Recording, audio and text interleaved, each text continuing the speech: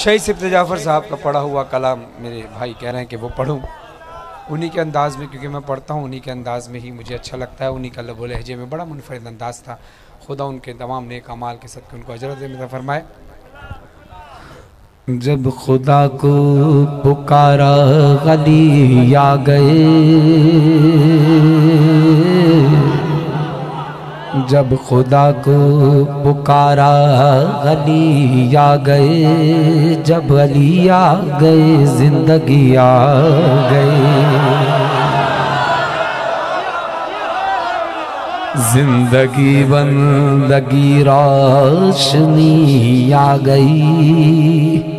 रोशनी आ गई आ गई आ गई। मौत के मुहिबों को आती नहीं। आ भी जाए तो फिर बच के जाती नहीं। मौत के मुहिबों को आती नहीं। आ भी जाए तो फिर बच के जाती नहीं। मौत से क्या खतर मौत से क्या गजर इससे बचना भी क्या आ गई आ गई।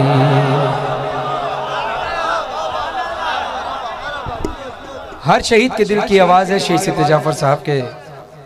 लाशों से भी आवाज़ आ रही होगी यकीनन। न कहन। हर मोमिन के दिल की आवाज़ है हर शहीद के दिल की आवाज़ है जो सिद्ध जाफ़र साहब ने लिखा। गुस्ल मैत न कहना मेरे गुस्ल को।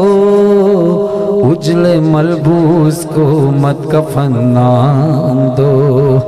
गुस्ल मैयत न कहना मेरे गुस्ल को। उजल मलबूस को मत कफना दो। मैं चला हूँ अली से मुलाकात को, जिसकी थी आरज़ू वो घड़ी आ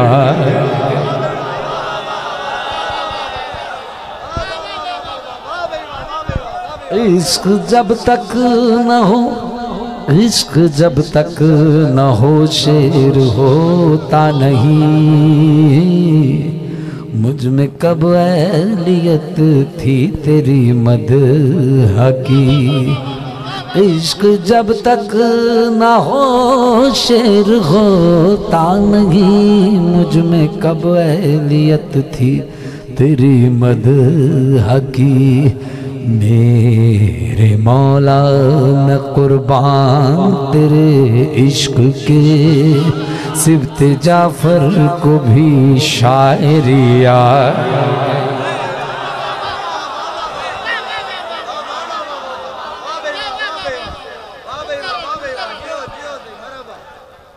मेरी दुआ है कि आपको मौला, करबला मोहल्ला में इश्क जब तक न हो शेर होता नहीं, मुझमें कब अहलियत थी तेरी मद हकी मेरे मौला, मैं कुर्बान तेरे इश्क के। सिबत जाफ़र को भी शायरी आ गई।